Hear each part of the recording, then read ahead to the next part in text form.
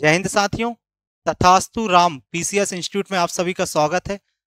आज हम जिस विषय पर चर्चा करने वाले हैं that is the one of the most important topic for MPPSC mains और वह है इंट्रोडक्शन किसी भी आंसर को लिखते समय उसके तीन पार्ट होते हैं इंट्रोडक्शन मेन बॉडी और कॉन्क्लूजन इन तीनों में से भी जो सबसे इम्पोर्टेंट पार्ट है, वह है इंट्रोडक्शन क्योंकि इंट्रोडक्शन आपके आंसर का फ़र्स्ट इंप्रेशन है।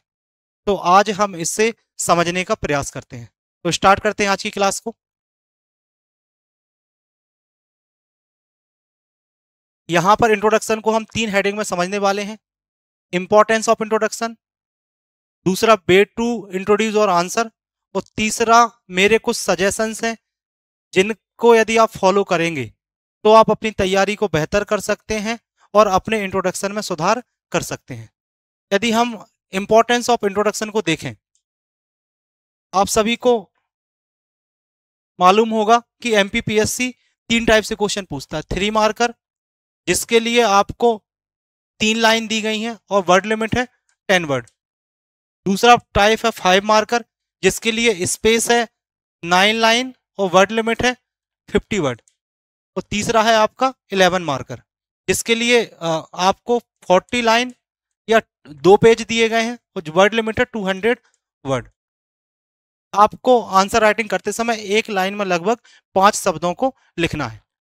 थ्री मार्कर वाले जो भी क्वेश्चन एमपीपीएससी द्वारा पूछे गए हैं, वो डायरेक्ट क्वेश्चन होते हैं। इनके लिए वर्ड लिमिट भी टेन वर्ड है तो आपको इसको टू द पॉइंट लिखना है। लेकिन फाइव मार्कर और इलेवन मार्कर की आंसर राइटिंग करते समय, इसके तीन हिस्से होंगे इंट्रोडक्शन मेन बॉडी और कॉन्क्लूजन यदि इन तीनों में से मैं बात करूँ इंट्रोडक्शन सबसे इंपॉर्टेंट पार्ट है क्योंकि आ, जो इंट्रोडक्शन है वह आपके आंसर को अट्रैक्टिव बनाता है। और साथ में जब कॉपी चेक करने वाले प्रोफेसर आपके आंसर का मूल्यांकन करते हैं तो वह भी आपके आंसर से अट्रैक्ट होते हैं और आपकी जो नंबर्स की मार्किंग है वह अच्छी होती है। कई बच्चे बड़ा ट्रेडिशनल इंट्रोडक्शन लिखते हैं, जिसके कारण कई बार वो मेन बॉडी में अच्छा कंटेंट डालते हैं, फिर भी उनको कम नंबर मिलते हैं। दूसरा, बच्चों के मन में दूसरी दुविधा है कि हम कितना स्पेस यूज़ करें इंट्रोडक्शन को लिखते समय। फाइव मार्कर में लिमिटेड स्पेस दिया गया है, इसलिए फाइव मार्कर के प्रश्न को लिखते समय आप एक लाइन में अपने आंसर को इंट्रोड्यूस करें, और ज़्यादा नेसेसरी हो तो आप डेढ़ लाइन का प्रयोग भी कर सकते हैं। अच्छा इंट्रोडक्शन लिखना इसलिए ज़रूरी है इंट्रोडक्शन आपके आंसर को सिस्टमेटिक बनाता है। इलेवन मार्कर के जो प्रश्न हैं, इनको लिखते समय आप दो से तीन लाइन में अपने आंसर का इंट्रोडक्शन लिख सकते हैं, क्योंकि यहाँ पर पर्याप्त स्पेस है। दूसरा, आपको किसी भी आंसर प्रश्न के इंट्रोडक्शन को लिखते समय आपको दो चीज़ों को समझना पड़ेगा। पहला, आपको समझना पड़ेगा कीवर्ड को और दूसरा आपको समझना पड़ेगा कि क्वेश्चन की डिमांड क्या है। कीवर्ड, जैसे मान लो, यहाँ पर एक क्वेश्चन है, आगे चर्चा करने वाला हूँ। ऊर्जा स्थानांतरण के तीन तरीके बताइए। तो पहले तीन तरीके तो बताने हैं आपको, लेकिन पहले आपको डिफाइन करना है ऊर्जा स्थानांतरण को। डिमांड की किस टाइप से क्वेश्चन है? कि आपको जो आपका क्वेश्चन है, उसको आप करंट अफेयर्स के साथ जोड़ सकते हैं।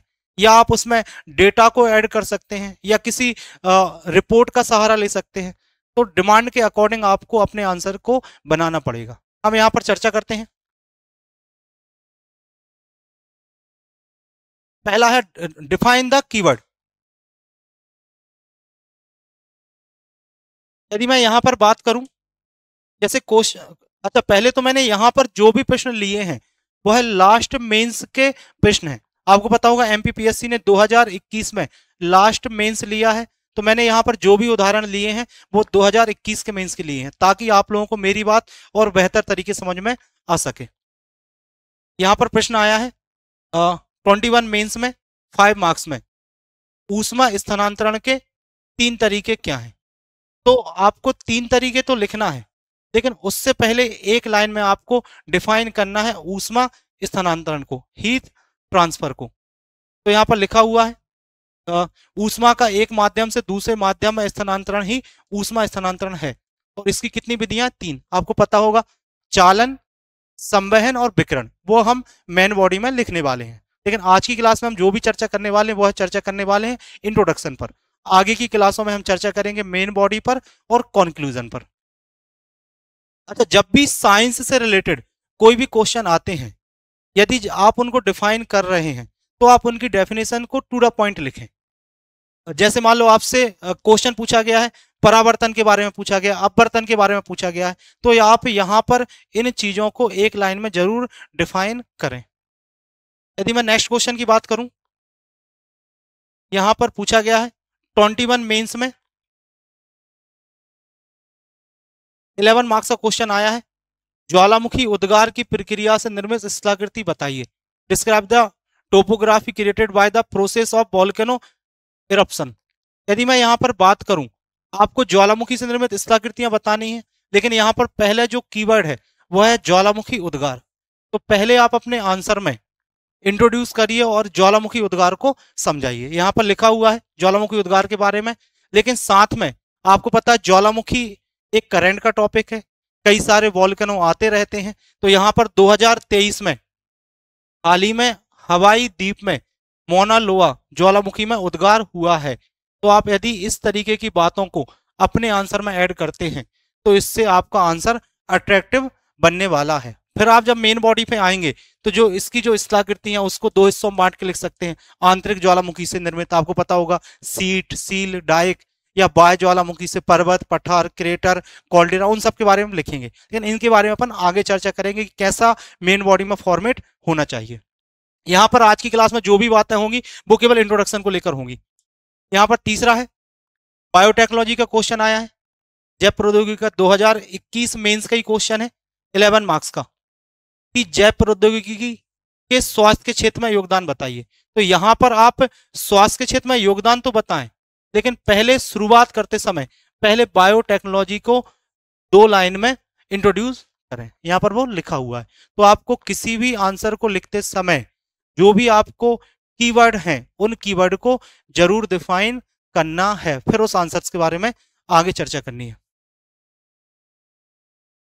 यहाँ पर दूसरा तरीका है, और जो सबसे अच्छा तरीका भी है कि किसी भी आंसर को लिखते समय आप करंट अफेयर्स के साथ जोड़ने की कोशिश करें। जैसे यहाँ पर लिखा हुआ एक क्वेश्चन आया ट्वेंटी वन में फाइव मार्क्स में, कि क्लोनिंग क्या है? संक्षेप में बताइए। What is cloning explain in brief तो पहले अब हम क्लोनिंग को एक्सप्लेन करेंगे। साथ में क्लोनिंग को करंट अफेयर्स के जोड़ने की बात करेंगे। यहाँ पर जैसे मैंने यहाँ पर लिखा हुआ है, हाल ही में 2023 में मार्च में भारत का प्रथम गाय क्लोन गंगा विकसित किया गया है। जैसे फाइव मार्क का क्वेश्चन है, यदि आपको लग रहा है कि हमारे पास स्पेस कम है तो आप इन जो सेंटेंस हैं, इन सेंटेंस को छोटा कर सकते हैं। यहाँ पर क्लोनिंग है, इसको काट सकते हैं। आप इतना बस लिख सकते हैं। अलैंगिक विधि है जी। विधि से एक जीव से दूसरे जीव को तैयार करना। और फिर इस उदाहरण को भी आप शॉर्ट में लिख सकते हैं। यदि आपके पास स्पेस की और कमी है तो। ठीक है, बाकी फिर आगे इसको आप मेन बॉडी पे आ जाएँगे। जैसे मैं बात करूँ यहाँ पर क्वेश्चन लिखा है, भारत में बेरोजगारी दूर करने के प्रयास बताइए। अच्छा यहाँ पर जो क्वेश्चन है, यह इकोनॉमी का क्वेश्चन है। जब भी अर्थव्यवस्था का क्वेश्चन आपके एग्ज़ाम में आए तो आपको हर एक क्वेश्चन को करंट अफेयर्स के साथ जोड़ना है। करंट अफेयर्स के साथ जोड़ने के लिए आप आर्थिक सर्वे जो आता है, उसका प्रयोग कर सकते हैं, आप बजट का प्रयोग कर सकते हैं आप देखा होगा कई सारे सूचकांक आते हैं इंडेक्स आते हैं नेशनल और इंटरनेशनल लेवल पर। जैसे गरीबी को लेकर, बेरोजगारी को लेकर, भुखमरी को लेकर, आप इन इंडेक्स का प्रयोग कर सकते हैं, इनकी रैंकिंग का प्रयोग कर सकते हैं। तो आप इस तरीके से अपने आंसर को इंट्रोड्यूस कर सकते हैं। जैसे यहाँ पर बेरोजगारी दूर करने के प्रयास है तो पहले आप यहाँ पर बेरोजगारी को समझाइए और फिर उसके प्रयास बताइए। लेकिन बेरोजगारी को समझाने के बाद आप इसे करंट अफेयर्स के साथ जोड़ने का प्रयास करें। तो यहाँ पर लिखा है, बेरोजगारी डेफिनेशन दी हुई है। और साथ में मैंने यहाँ पर उसे करंट में जोड़ने का प्रयास किया कि भारत में बेरोजगारी की दर कितनी है? थ्री पॉइंट टू परसेंट दो हज़ार बाईस, तेईस में। जैसे यहाँ पर रिमोट सेंसिंग के अनुप्रयोग पूछा गया है। ट्वेंटी वन मेन्स का क्वेश्चन इलेवन मार्क्स में आया हुआ है। जब भी साइंस एंड टेक्नोलॉजी की कुछ भी बात हो, चाहे आपके रिमोट सेंसिंग सेटेलाइट हो, चाहे कम्युनिकेशन सेटेलाइट हो चाहे नैनो टेक्नोलॉजी की बात हो बायोटेक्नोलॉजी की बात हो तो आपको इन सब टॉपिक को अपने करंट के साथ जोड़ना है। आपने देखा होगा इसरो रिमोट सेंसिंग सैटेलाइट को लेकर या कम्युनिकेशन सैटेलाइट को लेकर लगातार काम करने में लगा है। तो आपको इन सब चीज़ों को कवर करना है। तो यहाँ पर पहले आप डेफिनेशन लिखेंगे रिपोर्ट सेंसिंग की देन आप इसको क्या करेंगे? करंट के साथ जोड़ने के लिए। मैंने एक यहाँ पर डेटा का यूज़ किया है। भारतीय वन सर्वेक्षण रिपोर्ट 2011 में रिसोर्स सॉरी 2021 है 21 है, मैं रिसोर्स सेट टू सुदूर संवेदी उपग्रह का उपयोग किया गया है। तो इस तरीके से आप अपने आंसर को करंट अफेयर्स के साथ जोड़ सकते हैं। अच्छा करंट अफेयर्स के साथ अपने आंसर्स को लिंक करने के लिए मेरे कुछ सजेशंस हैं। सबसे पहले तो भाई आप लोग, आप सभी विद्यार्थियों को एम का सिलेबस बहुत अच्छे से याद होना चाहिए। चाहे वो प्री का सिलेबस हो, चाहे मेंस का। और आपको मेंस के सिलेबस के जब सारे टॉपिक याद होंगे, इसके बाद आपका काम है कि आपको डेली करंट अफेयर्स पढ़ना है, डेली न्यूज़पेपर रीड करना है। जिससे होगा क्या कि जब आपको आपका सिलेबस याद होगा तो सिलेबस के जो भी टॉपिक आपको दिए गए हैं, उनसे संबंधित जब कोई न्यूज़ आएगी तो आप उन्हें अपनी एक कॉपी में नोट करना स्टार्ट करें। मान लो रिमोट सेंसिंग सेटेलाइट हमको दिया गया सिलेबस में, और रिमोट सेंसिंग से रिलेटेड कोई भी न्यूज़ आ रही है तो आप अपनी कॉपी में उसे ऐड करें। दूसरा, आप लोग गूगल सर्च का भी सहारा ले सकते हैं। आपको कोई चीज़ से रिलेटेड करंट अफेयर्स देखना है तो गूगल में सर्च करें, उसमें लेटेस्ट न्यूज़ ही आती हैं तो उनसे रिलेटेड चीज़ें आप अपनी कॉपी में एड ऑन कर सकते हैं। यदि मैं आगे बात करूँ, यहाँ पर जैसे क्वेश्चन पूछा गया है, भुगतान संतुलन में असामान्यता है कि कोई पाँच प्रमुख कारण लिखिए, एवं भारत के संदर्भ में इसे दूर करने के उपाय बताइए। ट्वेंटी वन मेन्स का क्वेश्चन है इलेवन मार्क्स में। तो मैंने इसे आर्थिक सर्वे 2022-23 से जोड़ने का प्रयास किया है। आर्थिक सर्वेक्षण रिपोर्ट 2022-23 के अनुसार जहाँ व्यापार निर्यात, जो एक्सपोर्ट है three three two point eight billion dollar रहा, वहीं व्यापार आयात fifty five point seven billion dollar था। अर्थात आयात ज़्यादा है किससे? निर्यात से। यह स्थिति भुगतान में असंतुलन, में असामान्यता को इंगित करती है, जिसके कारण निम्न है। अब आप समझिए, मैं जब इस तरीके से अपने इंट्रोड्यूस अपने आंसर को इंट्रोड्यूस करूँगा तो आप समझ सकते हैं कि एग्जामिनर को लगने वाला है कि मैंने बाकी आंसर को बहुत अच्छे, बेहतर तरीके से लिखा है। तो यहाँ पर मैंने आर्थिक सर्वे की रिपोर्ट का प्रयोग किया है। अच्छा तो अभी तक जो मैंने बात की, वो बात की थी करेंट अफेयर्स की। लेकिन कुछ प्रश्न ऐसे आते हैं जिनको आप करंट अफेयर्स के साथ नहीं लिंक कर सकते तो उन प्रश्नों को लिखते समय हमको फैक्ट और इंफॉर्मेशन का उपयोग करना है, जो उन टॉपिक से रिलेटेड सबसे इंपॉर्टेंट फैक्ट है। जैसे मान लो, कभी भेड़ाघाट जलप्रपात, भेड़ाघाट वाटरफॉल के बारे में पूछा जा रहा है तो आप वहाँ पर यूज़ करिए कि विश्व का एकमात्र वाटरफॉल जो मार्बल रॉक से बना है। तो आप सबसे इंपॉर्टेंट डेटा का प्रयोग किए। मान लो, कालिदास के बारे में पूछा जा रहा है तो आप यूज़ करिए भारत के शेक्सपियर यदि मैं यहाँ पर बात करूँ, जैसे क्वेश्चन पूछा गया है, ट्वेंटी वन मेन्स में, इलेवन मार्क्स में, कि मालवा पठार की भौतिक विशेषताएँ बताइए। तो यहाँ पर फ़िज़िकल फीचर्स तो बताने हैं, लेकिन पहले उससे पहले किसको इंट्रोड्यूस करना है? मालवा पठार। अब कई बच्चे क्या करते हैं? इलेवन मार्क का क्वेश्चन है, कई बच्चे क्या करते हैं? पहले पठार को इंट्रोड्यूस करने लगते हैं। फिर मालवा पठार पे आते हैं। आपको पठार को इंट्रोड्यूस नहीं करना, आपको ओवरऑल मालवा प्लेटू के बारे में लिखना है। तो इस आंसर को लिखते समय आप डेटा का यूज़ कर सकते हैं फैक्ट का यूज़ कर सकते हैं। जैसे मैंने यहाँ पर लिखने का प्रयास किया है कि मध्य प्रदेश के 28 परसेंट भाग पर विस्तृत मालवा का पठार, इंदौर उज्जैन संभाग, मध्य प्रदेश की सबसे बड़ी स्थलाकृति है, जिसकी भौतिक विशेषताएँ निम्न है। तो मैंने यहाँ पर अपने इंट्रोडक्शन को फैक्ट के साथ जोड़ने का प्रयास किया है और ज्योग्राफी में आप इस तरीके से कर सकते हैं। यदि मैं नेक्स्ट क्वेश्चन पे आऊँ, यहाँ पर लिखा है कि राष्ट्रीय मानवाधिकार आयोग की मुख्य सीमाएँ क्या हैं? जो नेशनल ह्यूमन राइट कमीशन के बारे में पूछा गया है तो आपको ध्यान रखना है कि जब भी कमीशन के बारे में पूछा, जब भी आयोग के बारे में पूछा जाए तो आपके सिलेबस में जो सेकंड पेपर है, उसमें 10 से 11 आयोग दिए गए हैं और इन आयोग को आपको पता होगा दो टाइप से एक है संवैधानिक आयोग और एक है संविधिक आयोग। अच्छा संवैधानिक आयोग को लिखते समय आप आर्टिकल का प्रयोग कर सकते हैं। जैसे मान लो भारतीय निर्वाचन आयोग से रिलेटेड क्वेश्चन आया है तो आप आर्टिकल 324 से लेकर 329 तक की बात कर सकते हैं। या जब सांविधिक आयोग आपसे पूछे जाएँ तो यहाँ पर आप अधिनियम के बारे में बात कर सकते हैं। अधिनियम या एक्ट के बारे में, या आप इसके अंदर की धारा का प्रयोग कर सकते हैं? कौन सी धारा में उस प्रकार की बात की गई है? जैसे यहाँ पर जब राष्ट्रीय मानवाधिकार आयोग पूछा गया है, आपको पता है नेशनल ह्यूमन राइट कमीशन एक सांविधिक आयोग है तो यहाँ पर मैं इसका अधिनियम उपयोग कर सकता हूँ। इंट्रोडक्शन लिखते समय कि राष्ट्रीय मानवाधिकार अधिनियम उन्नीस सौ तिरानबे की धारा तीन के तहत है जी, तहत गठित मानवाधिकार आयोग की सीमाएँ निम्न तो इस तरीके से आप समझिए कि अब इंट्रोडक्शन कितना सुंदर लग रहा है।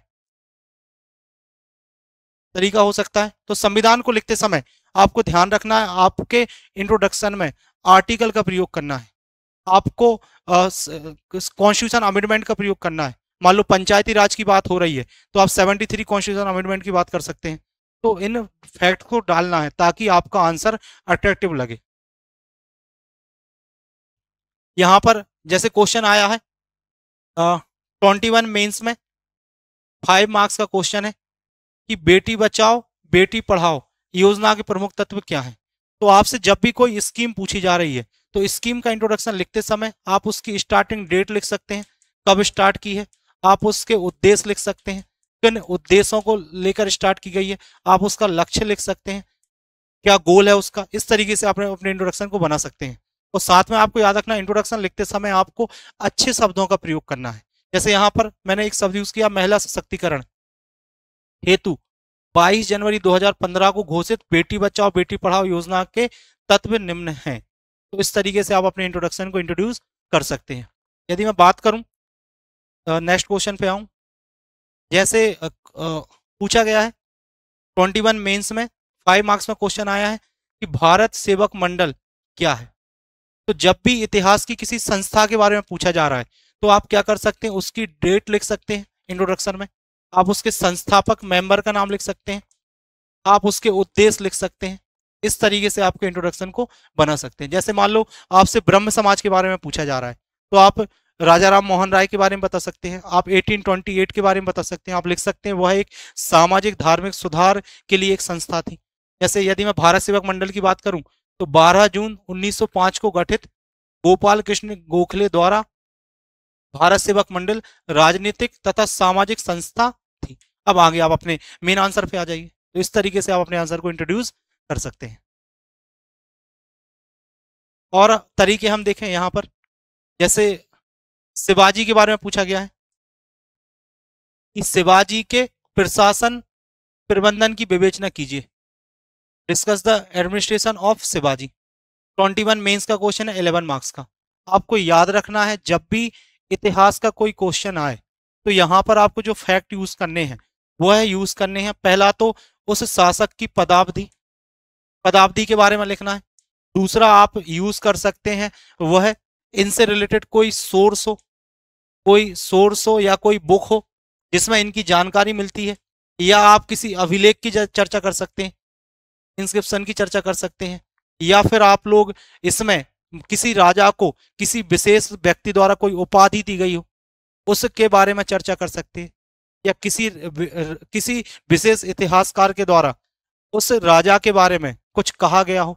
जैसे आपको पता होगा, विंसेट स्मिथ ने समुद्रगुप्त को भारत का नेपोलियन कहा है तो आप यहाँ से आंसर की शुरुआत कर सकते हैं। जैसे मैंने शिवाजी के बारे में लिखने का जो प्रयास किया है तो मैंने उनके समय से स्टार्ट किया, सत्रहवीं शताब्दी में हिंद स्वराज हिंद स्वराज के संस्थापक के रूप में महाराज शिवाजी ने संप्रभु तथा स्वदेशी साम्राज्य की स्थापना की, जिनके शासन प्रबंधन की निम्न विशेषताएँ हैं। और अब आप इस पे, अपने मेन उस पर आ जाइए मेन बॉडी पर आ जाइए, ठीक है ना? तो इस तरीके से आप अपने हिस्ट्री के आंसर्स को लिख सकते हैं। नेक्स्ट क्वेश्चन पे हम आए। इतिहास का ही प्रश्न है। जैसे पूछा गया, चोलकालीन स्थानीय प्रशासन एमपीपीएससी का बड़ा फेवरेट टॉपिक है, चाहे प्री हो, चाहे मेन्स हो, का वर्णन कीजिए।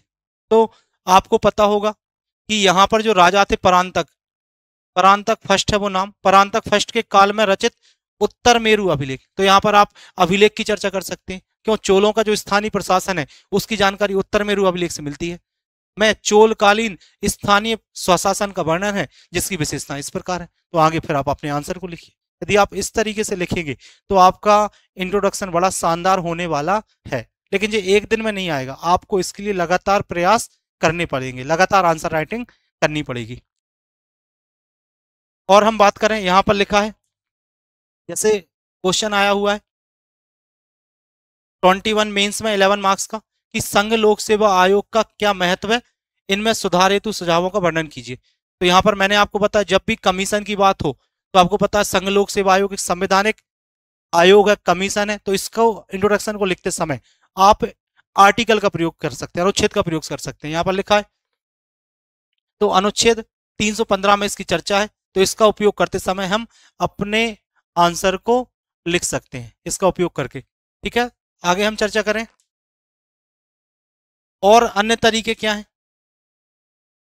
किसी आंसर के इंट्रोडक्शन को लिखते समय आप अधिनियम का प्रयोग कर सकते हैं, एक्ट का प्रयोग कर सकते हैं।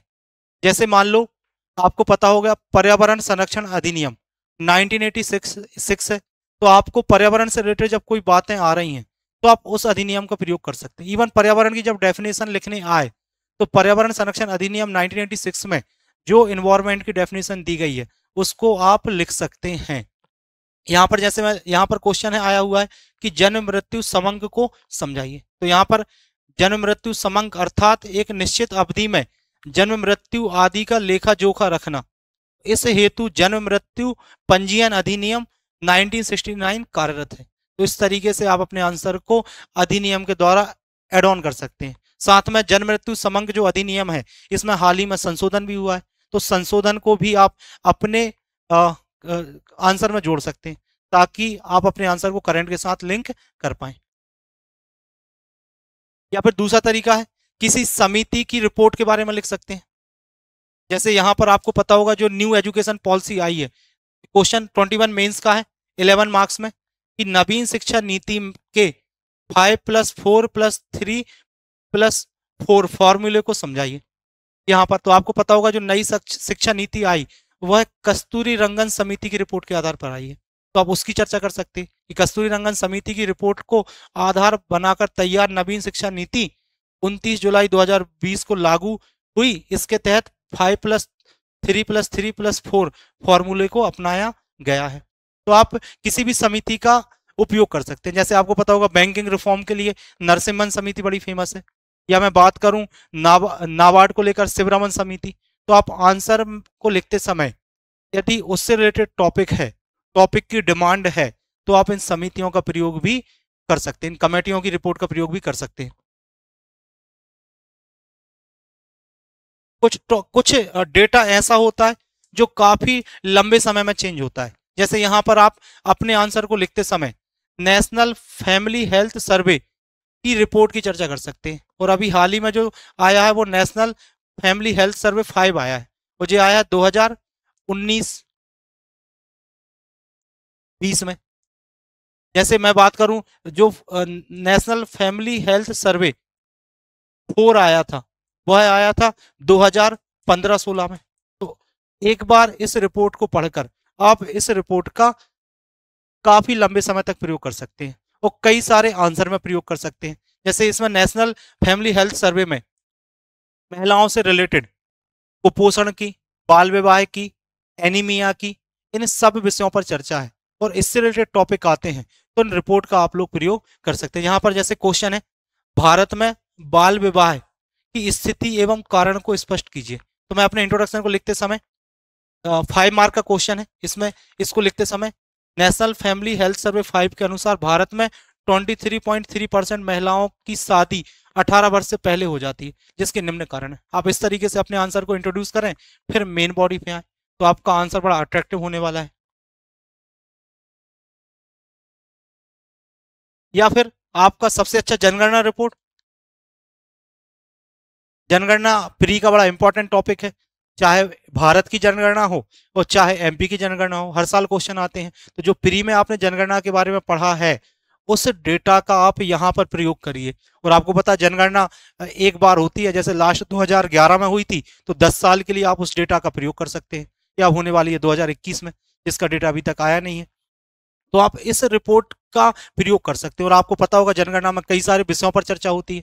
आपको पता होगा कि सेक्स रेशियो पर चर्चा होती है जनसंख्या वृद्धि पर चर्चा होती है साक्षरता पर चर्चा होती है। तो उन सबसे रिलेटेड टॉपिक को लिखते समय आप इन सब रिपोर्टों का सहारा ले सकते हैं। जैसे मैं बात करूँ क्वेश्चन है ट्वेंटी वन मेन्स का क्वेश्चन है।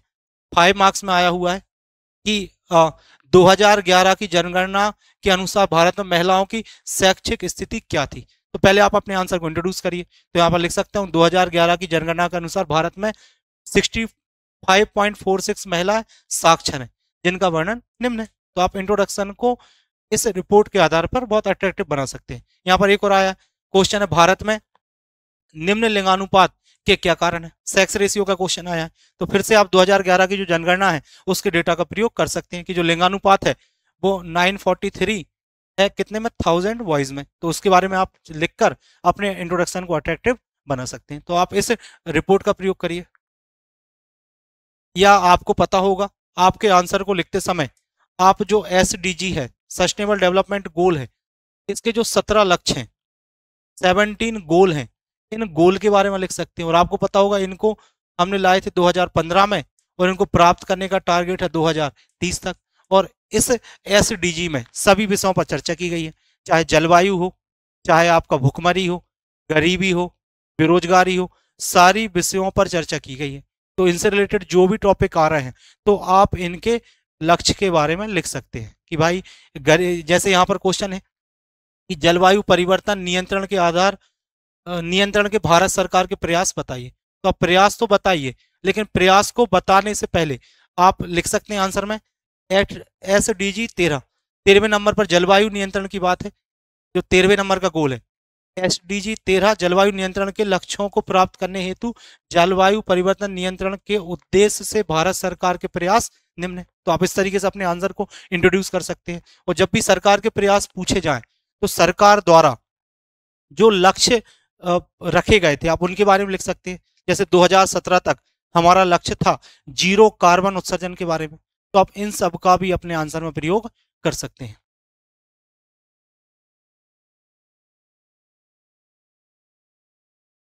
कुछ अदर अन्य तरीके भी हैं आंसर को लिखने के लिए। जैसे यहाँ पर लिखा है कि भारतीय राजनीति जाति के राजनीतिकरण से राजनीति के जातिकरण की ओर अग्रसर है। स्पष्ट कीजिए। ट्वेंटी वन मेन्स का क्वेश्चन है, इलेवन मार्क्स में आया है। तो इस प्रकार से जब कोई कोटेशन पूछा जा रहा है या कोई चीज़ लिख के दी है तो आप क्या करें कि जिस जगह से इस चीज़ को लिया गया है, यदि आपको उसके बारे में मालूम है तो वहाँ से अपने इंट्रोडक्शन की स्टार्टिंग करें। जैसे रजनी कोठारी की पुस्तक है कास्ट इन इंडियन पॉलिटिक्स में इस स्टेटमेंट का वर्णन है।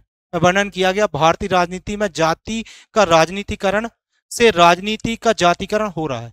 तो आप इंट्रोडक्शन यहाँ से स्टार्ट करें, फिर अपनी बाकी बातों को समझाएँ। तो इस तरीके से आप अपने इंट्रोडक्शन को लिख सकते हैं। और कैसे लिख सकते हैं? यहाँ पर, जैसे मान लो, एक क्वेश्चन 21 मेंस का आया 11 मार्क्स में, कि अहल्याबाई के व्यक्तित्व व योगदान का मूल्यांकन कीजिए। तो आप यहाँ पर एक राइटर है, जॉन मालकम। उनकी बुक का चर्चा कर सकते हैं। उनकी बुक है मेमोरी ऑफ़ मानस नहीं, ये मालवा है। मेमोरी ऑफ़ मालवा में रानी अहल्याबाई को अभिमान से परे, अद्वितीय एवं असाधारण मूर्ति कहा है? और अहल्याबाई होलकर का आप समय लिख सकते हैं, जैसे मैंने बात की थी पहले भी कि भाई उनका आप समय समय अवधि लिख सकते हैं। तो इस तरीके से आप इस आंसर का इंट्रोडक्शन को लिख सकते हैं। कुछ एक तरीका और हो सकता है। वह है कि आप कुछ क्वेश्चन ऐसे आते हैं, जिनको आप कोटेशन के साथ भी स्टार्ट कर सकते हैं। जैसे ट्वेंटी वन मेन्स में इलेवन मार्क्स में क्वेश्चन आया है। कि भारत के संदर्भ में पर्यावरणीय शिक्षा व जागरूकता कार्यक्रम का वर्णन कीजिए। इलेवन मार्क्स का क्वेश्चन है। कोटेशन को आप कोशिश करें। जब कभी लिखने का मन हो इलेवन मार्क्स के क्वेश्चन में ही लिखें फाइव मार्क्स में ना लिखें। यहाँ पर लिखा है, माता भूमि, पुत्रों एवं पृथ्विया की भावनाओं को प्रबल बनाने तथा आत्म आत्मसात करने हेतु पर्यावरणीय शिक्षा आवश्यक है। पर्यावरणीय शिक्षा अर्थात, फिर यहाँ से आप अपने आंसर की मेन बॉडी पर आ सकते हैं।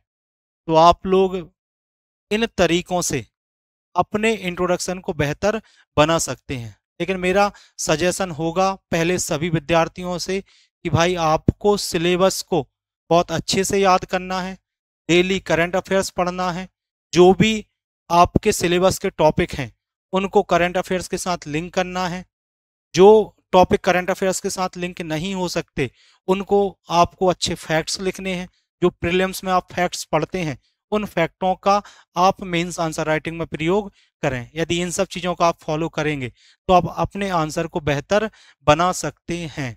और यदि आप इंट्रोडक्शन बेहतर बना लेंगे तो फिर आपकी बाकी चीज़ों पे हम जो मेन बॉडी है और कॉन्क्लूजन है, उस पर आगे की क्लासों में चर्चा करने वाले हैं। तो आज के लिए धन्यवाद।